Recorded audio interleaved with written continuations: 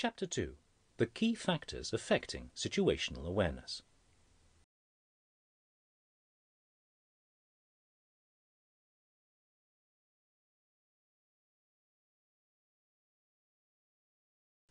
There are four key factors that may affect situational awareness and which must be considered when planning. They are experience, environment, training, and shaping factors. Let's look at each of these. Click on Experience to begin.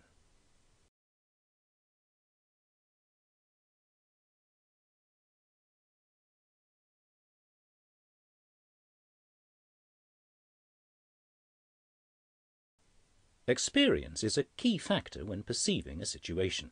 If we have seen or done something before, it is easier to assess the situation. If we have seen something many times before, recognizing the situation almost becomes second nature. However, a person's experience can quickly become out of date. For example, they may be unaware of a new procedure. If someone relies only on experience and does not refer to procedures, this is bad behavioral safety and may negatively affect the team's overall situational awareness. This is why it is so important that everyone in a team refers to the correct procedure and avoids completing tasks from memory.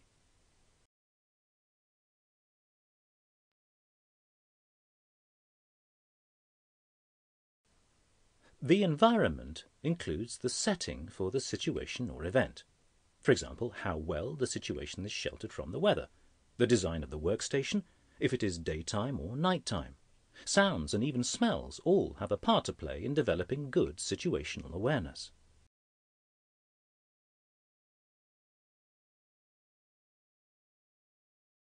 As an example, aircraft cockpits are designed in line with situational awareness.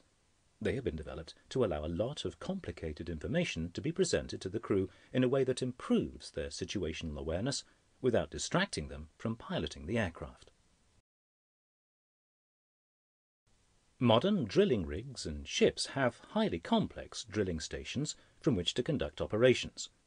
Poor design, little experience and or a lack of training will all have negative effects on the situational awareness of the driller, equipment operator and the well operations team.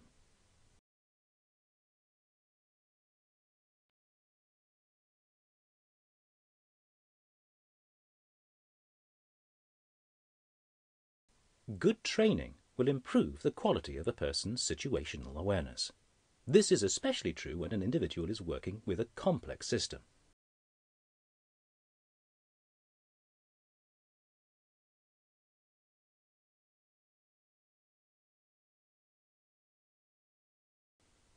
Training addresses two groups, those with little or no experience, and those whose experience may be outdated.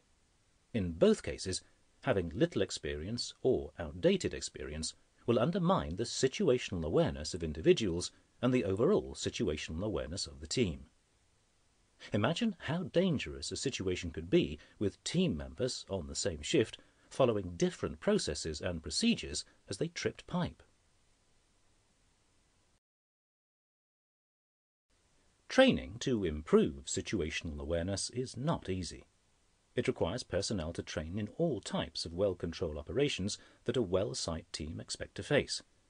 Simulators are an excellent tool to explore this and train a crew's situational awareness during complex tasks and emergency situations, all from the safety of the classroom.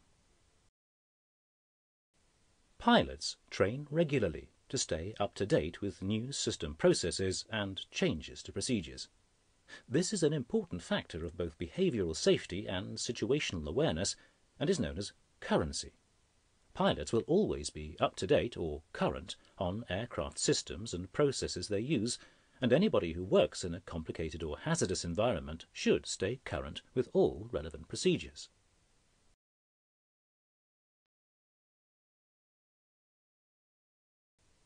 Shaping factors include fatigue, stress, and illness. For example, tiredness and stress near the end of a long shift can have a serious impact on situational awareness and can directly affect our decision-making process. We will look at these more in a later module. Imagine an individual's capacity to perceive and interpret information as a bucket. The liquid in the bucket is the information. The size of the bucket is not fixed and will vary depending on many things. For example, experience will help an individual understand a process. If they have done it many times before, then they will know what to do and understand what to expect.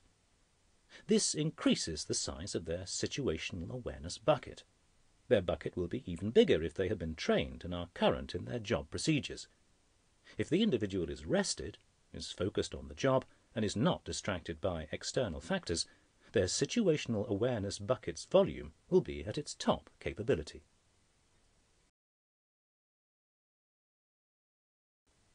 The larger the capacity of a bucket, the more able someone is to cope with multiple tasks. An individual with little experience will have a small bucket and will reach task overload after one or two inputs. It is important that team leaders understand the capacity of their team's individual situational awareness buckets and understand that situational awareness is not a constant and anyone can have a bad day. The key is in knowing who in your team is having that bad day.